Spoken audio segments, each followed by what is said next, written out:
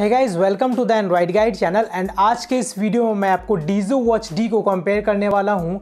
डीजो watch two sports के साथ, और मैं आपको इन दोनों स्मार्ट वॉचेज़ में कंपेयर कर बताने वाला हूँ कि कौन सा स्मार्ट वॉच जो है वो बेस्ट है in comparison to specs and hardware और इसका जो पूरा डिटेल है वो मैं आपको आज इस वीडियो में इन डिटेल बताने वाला हूँ।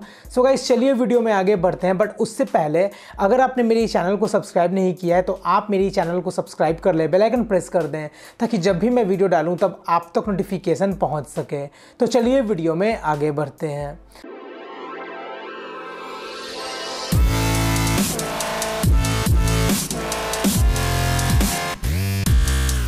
सो so गाइस सबसे पहले बात करते हैं इन दोनों स्मार्ट वॉचेस के डिटेल से। तो सबसे पहले इसमें आपको डीजो वॉच डी में 1.8 इंच का लार्ज डिस्प्ले मिलता है। And Dizo watch two sports में आपको 1.69 इंच का हाई रिफ्रेश रेट वाला डिस्प्ले मिलता है।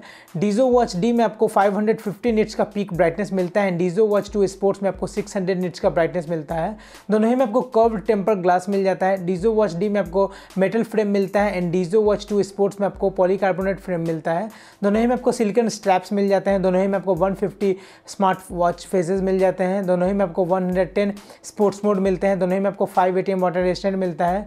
डीजो वॉच डी में आपको 350 एम का बैटरी मिलता है and Dizo watch two sports में 260 एम का बैटरी मिलता है।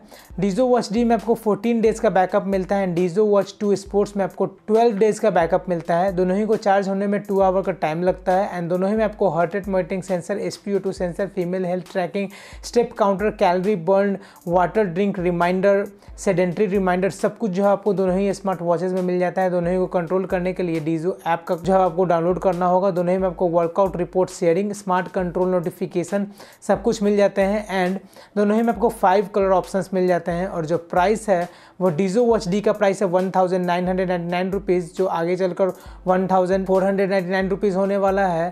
And Dizo watch two sports का जो प्राइस है, वो है two thousand four hundred ninety nine rupees but इसमें आपको एक एक्स्ट्रा चीज़ दिया गया है एस का, जो आपको जो है वो एक अच्छा मिल जाता है।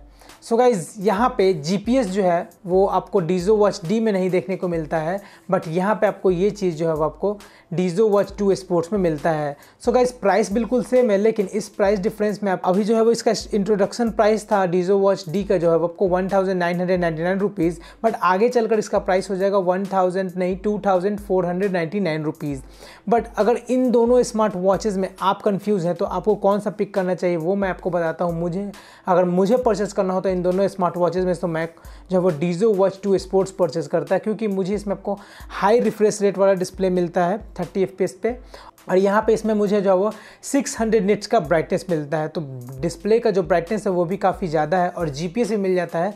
तो काफ़ी एक्यूरेसी जो है वो आपको रहेगा काफ़ी हाईली प्रिसाइज जो है आपका जो है वो कैलोरी काउंट या स्टेप काउंट जो है वो होगा इस जीपीएस के थ्रू जो इसमें इनबिल्ट दिया गया है।